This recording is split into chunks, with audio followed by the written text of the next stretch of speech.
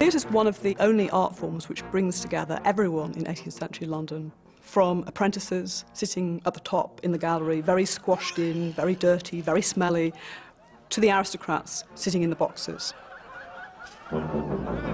People were allowed to enter in the middle of plays. In fact, they had an incentive to do so because it cost them less if they came in just for the last act.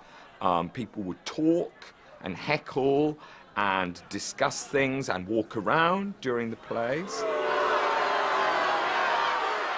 In the early 18th century, audiences were used to barracking exotic characters on stage, like those found in Italian operas. Then a play appeared that was a true piece of British theatre.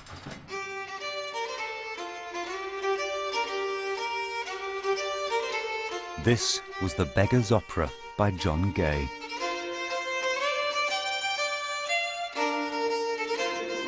As the curtain went up on Gay's satirical masterpiece, audiences were in for a surprise. Here on stage were rude common people, just like those found in a Hogarth print. Well, the first character you see is a beggar. And because this, been, this, has been advertised as an opera, it must have been an extraordinary surprise to the audience to be sitting in the theatre at Lincoln's Inn Fields and to look up and to see a beggar on stage. This was an event that no one had seen before. It was something quite new. The Beggar's Opera is rude because it's set in a prison. Its heroes aren't kings and queens. Its heroes are kind of thieves and highwaymen and pickpockets. The Beggar's Opera became a smash hit precisely because it was rude theatre. Rude because in a space used to high art, audiences now saw low common characters on stage. And rude because they were singing songs that were biting satires on 18th century life. When you censure the age, be cautious and sage, lest the courtiers offended might be. If you mention vice or bribe, 'tis so pat to all the tribe. Each cries, that was levelled at me. Gay had this brilliant idea, which has been duplicated often since and is still duplicated, um, which is to put into his play lots of the most popular songs of the day. I mean, they do it in Shrek. He discovered this art first. So I think literally audiences sang along or hummed along because often he put rather new words to these tunes.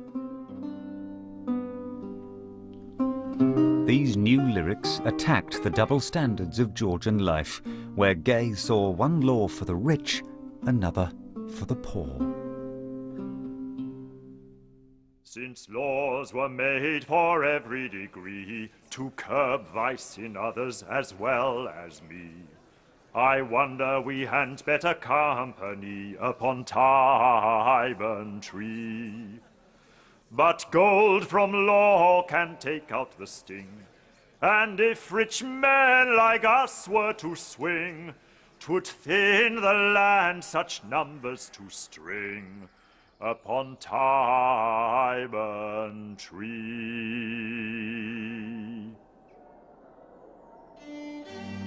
This reference to Tyburn Tree would send a chill down the necks of Gay's audience.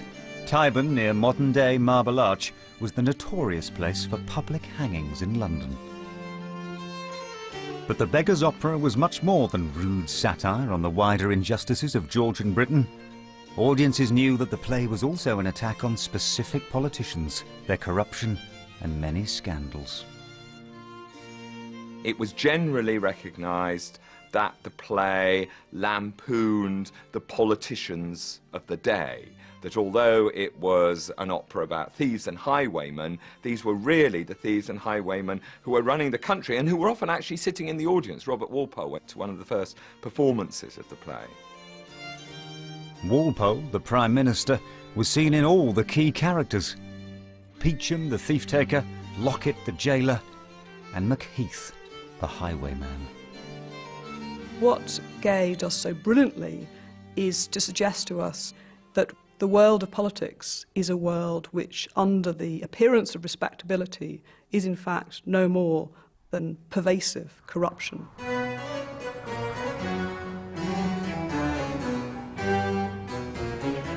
Also in the 1730s, from a theatre on the Haymarket, came further provocations to the Prime Minister and his cronies.